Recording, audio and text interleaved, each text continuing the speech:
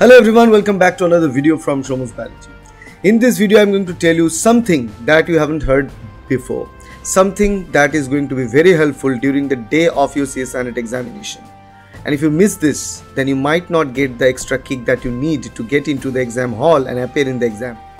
Three mistakes that you should always avoid uh, when you are preparing for the CSIRNet exam on the day of the exam itself.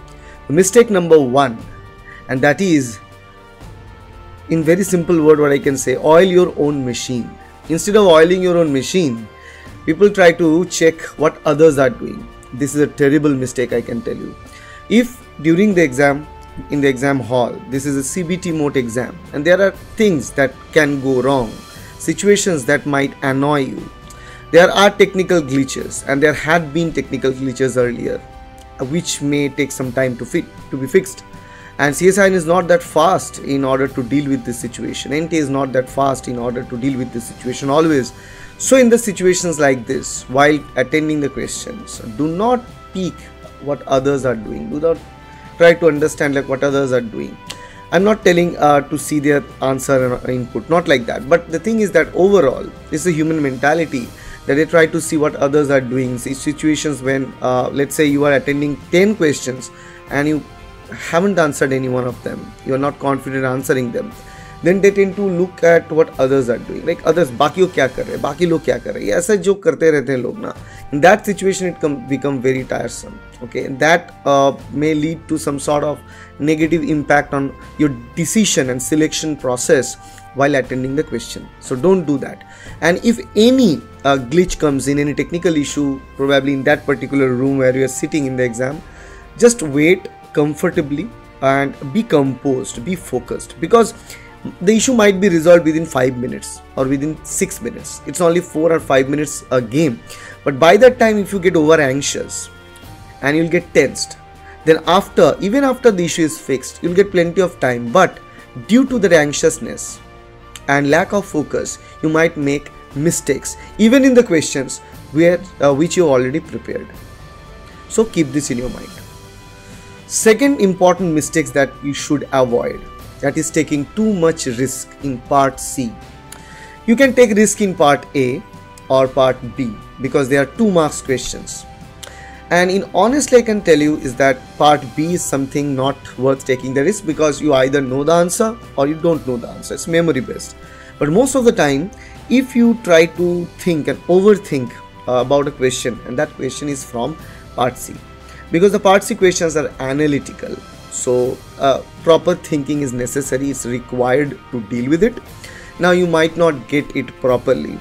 So if you fail to have a proper selection that might lead to your failure answering the question.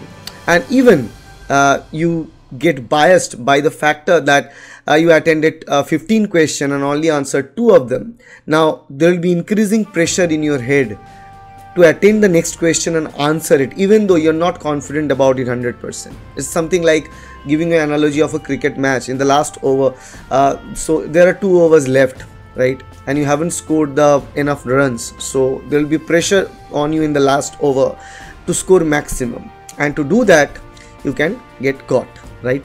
So that is something happened in the exam too. So do not do that because it can be possible that at the last 10 questions you'll be able to answer all the 10 right? So don't judge yourself until you completed the question paper or finished the question, question paper. And the third and most important one which you may not even think is that have the courage to get out of your bed and go and attend the CSIRNet exam on the day of the examination. If you can't if you haven't participated in the exam at all if you don't participate in the exam at all there is no point of winning or losing. A person can win a person can lose. But a person never appeared in the exam can't have either of that, nor winning nor losing. Right? So don't be a coward and face the exam. Why I'm telling this is based on the statistics. Every single session, almost 80,000 students fill the form, and only 45 to 50,000, 55,000 students appear in the exam. Just think, it's one third of the population don't even appear in the examination. Yes, it's truth. Whatever reason may be, but don't do that. face the exam even if your target is the next december examination or next june examination fine but at least attend the exam to check where you currently stand how much preparation do you need to cover your lags and gaps so that you can appear in the exam next time and can conquer it keep these three uh, things in your mind. Do not do these three mistakes. Please don't do this. If you do this to yourself then you're not going to get the confidence to attend any other examination in your life again. It's all about the attitude. It's all about your mental toughness along with your preparation. Like many people will be prepared. They are equipped. They they are prepared. They read the topics. They learn things. But only winning is not possible by everyone winning is only possible by those along with the preparation have the mental toughness and the ability to win and the positive mindset positive mindset is the most important thing while preparing for this examination while preparing for any examination or interview I wish you all the very best for the examination. Thank you very much. Bye.